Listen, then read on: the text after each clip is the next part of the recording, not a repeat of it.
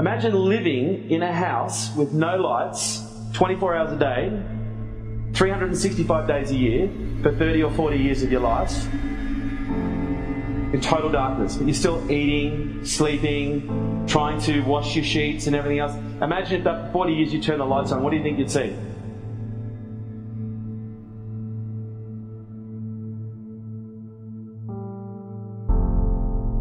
You would probably become very overwhelmed.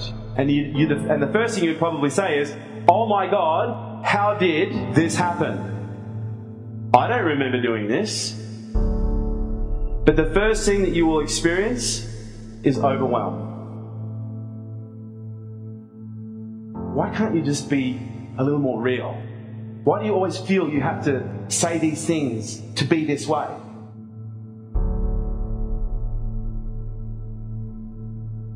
If you want to up the stakes and play a bigger game, the first thing you need to up the stakes is drop the facade. Stop trying to be something that you're not. Fake it till you make it is almost like carrot and stick motivation. If you want to up the stakes, it is not about faking it anymore. It is about being real, authentic, and genuine and wearing your heart on your sleeve. Does self sabotage show up most for you? What is self sabotage? Self sabotage is a conflict of values. If self sabotage is a conflict of values, what is it that creates that conflict? Who would agree it's very easy not to succeed when you don't know what you're doing? But here's the challenge when you know everything that you have to do, then all of a sudden, guess what? You're aware, but then there's only one thing stopping you. So, when we make the decision to become more conscious and we turn the lights on, the first thing we're going to experience is, an overload of information. We're going to feel overwhelmed. That is going to trigger what? Stress. And stress is going to have a biochemical effect.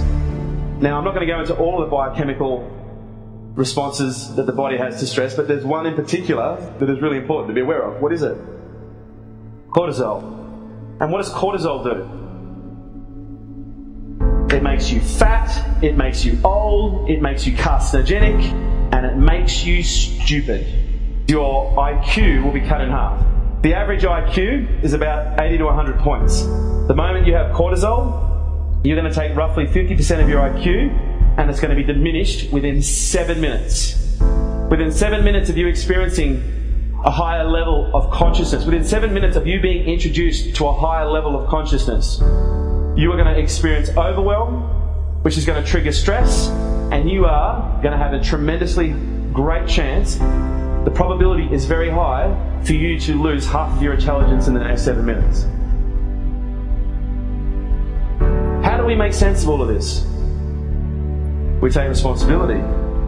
First of all, we need to be aware that when we become more conscious, we will experience information overwhelm and we will experience stress.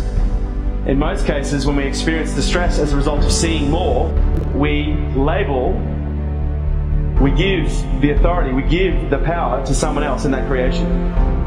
So, in order to be consciousness, we must be willing to accept full responsibility for everything we see when we turn the lights on. If we're not, we are going to experience very high levels of repetitive pain.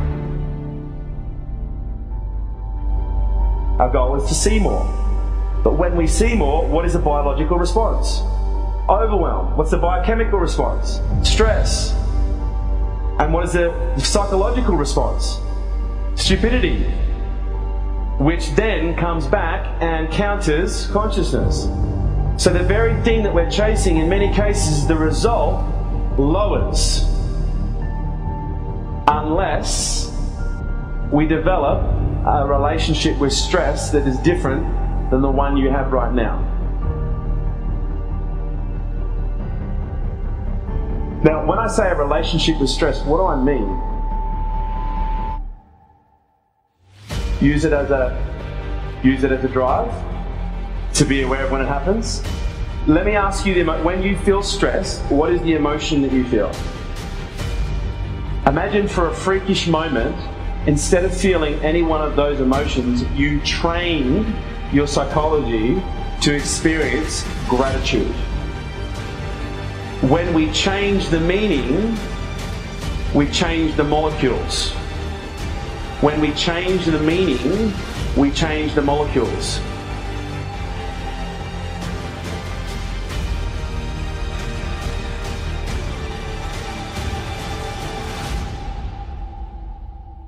So, what I'm suggesting is when we turn the light on, we need to accept full responsibility for what we're now starting to see. We need to expect that it is quite normal and we don't need to fight the information overload and the overwhelm.